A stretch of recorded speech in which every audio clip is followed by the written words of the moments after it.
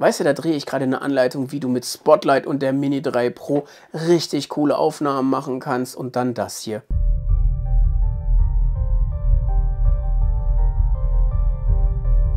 Sie ist jetzt auf jeden Fall zu DJI unterwegs, Carry Fresh ist aktiv und mit dem Leerkarton kann ich nichts anfangen. Deswegen habe ich jetzt zu Demonstrationszwecken die Parrot Anafi. Und wenn du dich fragst, hä, warum die Anafi? Ja, ich habe halt die Mini 3 Pro nicht. Ich warte darauf, dass sie irgendwann von DJI repariert oder ein Austauschmodell zurückkommt. Aber was ist Spotlight? Spotlight ist ganz einfach. Du markierst ein Objekt.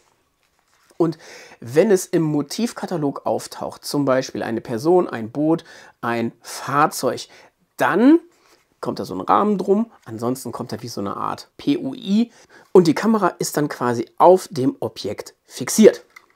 Was heißt das? Da gibt es jetzt zwei Optionen. Erstens, das Objekt bewegt sich, dann würde die Drohne sich quasi so drehen und die Kamera schwenken, dass sie mich oder das bestimmte Objekt deiner Wahl im Fokus behält. Das heißt, die Drohne selber, von oben gesehen, dreht sich und kann den Gimbal neigen. Das ist eigentlich die Kernfunktion von Spotlight. Bewegt sich also das Objekt, dreht die Kamera sich. Bewegt sich die Drohne von alleine? Nein, sie dreht sich nur und schwenkt den Gimbal. Das ist die erste Möglichkeit von Spotlight. Die zweite Möglichkeit von Spotlight, die natürlich um einiges Millionenmal cooler ist, aber auch mehr Gefahren birgt, du hast meinen Absturz gerade gesehen, ist, dass du die Drohne steuern kannst. Also angenommen, das hier ist das Objekt. Du markierst es und bewegst die Drohne nach rechts. Dann würde sie ja normalerweise so nach rechts gehen oder nach links oder nach vorne oder unten. Du weißt, was ich meine. Aber bei Spotlight und du bewegst die Drohne nach rechts, bewegt sie sich nach rechts und dreht sich aber so, dass sie das Objekt im Fokus behält. Dasselbe nach links. Bei, von der Seite gesehen, oben schwenkt das Objektiv auf das gewisse Objekt, was du ausgewählt hast. Das gleiche auch so nach unten. Ja, und natürlich gelingen dir die coolsten Aufnahmen, indem du halt verschiedene Stickbewegungen kombinierst.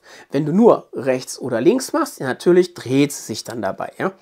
Aber wenn du jetzt zum Beispiel noch hoch gehst und dabei vielleicht nach vorne gehst, dann siehst du halt, wie du unglaublich, ja schon fast 3D-mäßig die Drohne steuern kannst, ohne das Objekt aus der Kamera zu verlieren. Dabei darfst du aber nicht und niemals und überhaupt niemals die Drohne aus den Augen verlieren und übermütig werden, weil genau das passiert dann nämlich.